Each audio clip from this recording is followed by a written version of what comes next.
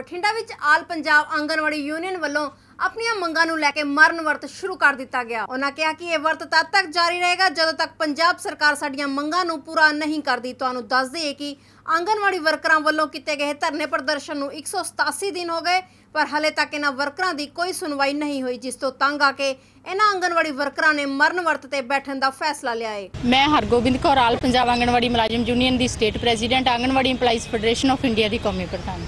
ਅੱਜ ਦਾ ਜਿਹੜਾ ਪ੍ਰੋਟੈਸਟ ਹੈ, ਕੀ ਮੰਗਾਂ ਤੇ ਕਿਸ ਤਰ੍ਹਾਂ ਦਾ ਪ੍ਰੋਟੈਸਟ ਹੈ ਅਸੀਂ ਅੱਜ 187 ਦਿਨ ਹੋ ਗਏ ਲਗਾਤਾਰ ਬਠਿੰਡੇ ਦੇ ਵਿੱਚ ਸਾਡਾ ਕੰਟੀਨਿਊਸ ਡੇ ਨਾਈਟ ਧਰਨਾ ਚੱਲ ਰਿਹਾ ਹੈ।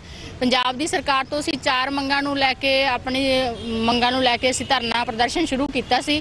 18 ਜੁਲਾਈ ਨੂੰ ਸਰਕਾਰ ਨੇ ਸਾਡੇ ਨਾਲ ਮੀਟਿੰਗ ਕਰਕੇ ਸਾਡੀਆਂ ਮੰਗਾਂ ਤੇ ਸਹਿਮਤੀ ਦਿੱਤੀ। ਇਹਨਾਂ ਦੀ ਪੂਰਤੀ ਲਈ ਸਾਨੂੰ 31 ਜੁਲਾਈ ਦਾ ਟਾਈਮ ਦਿੱਤਾ ਸੀ ਕਿ ਜਿਹੜਾ ਮਾਣ ਭੱਤਾ ਵਧਿਆ, ਉਹਦਾ ਨੋਟੀਫਿਕੇਸ਼ਨ ਤੁਹਾਡਾ ਆ ਜਾਊਗਾ।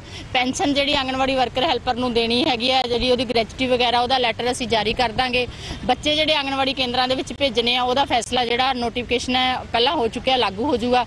ਪਰ ਅਸੀਂ 2 ਅਗਸਤ ਤੱਕ ਵੇਟ ਕੀਤੀ ਅਸੀਂ ਅਸੀਂ ਪਹਿਲਾਂ ਕਾਲ ਦਿੱਤੀ ਸੀਗੀ ਕਿ ਜੇ 2 ਅਗਸਤ ਤੱਕ ਸਰਕਾਰ ਨੇ ਸਾਡੀਆਂ ਮੰਗਾਂ ਪੂਰੀਆਂ ਜਿਹੜੀਆਂ ਮੰਗਾਂ ਪੂਰੀਆਂ ਕੀਤੀਆਂ, ਲਾਗੂ ਨਾ ਕੀਤੀਆਂ, ਤਾਂ ਅਸੀਂ 3 ਅਗਸਤ ਤੋਂ ਮਰਨ ਵਰਤ ਤੇ ਬੈਠਾਂਗੇ।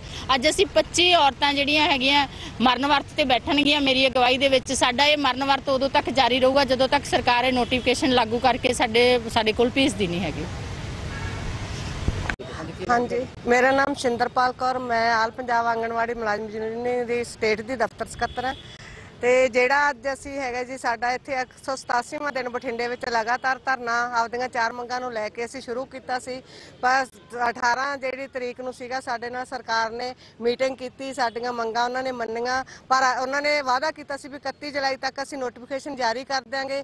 ਸਰਕਾਰ ਨੇ ਅਜੇ ਤੱਕ ਨੋਟੀਫਿਕੇਸ਼ਨ ਜਾਰੀ ਨਹੀਂ ਹੋਇਆ। ਅੱਜ ਸਾਡੇ ਸੂਬਾ ਪ੍ਰਧਾਨ ਸ਼੍ਰੀਮਤੀ ਹਰਗੋਬਿੰਦ ਕੌਰ ਦੀ ਅਗਵਾਈ ਦੇ ਵਿੱਚ ਅਸੀਂ 25 ਮੈਂਬਰ ਇੱਥੇ ਮਰਨ ਵਰਤ ਤੇ ਬੈਠਾਂਗੇ।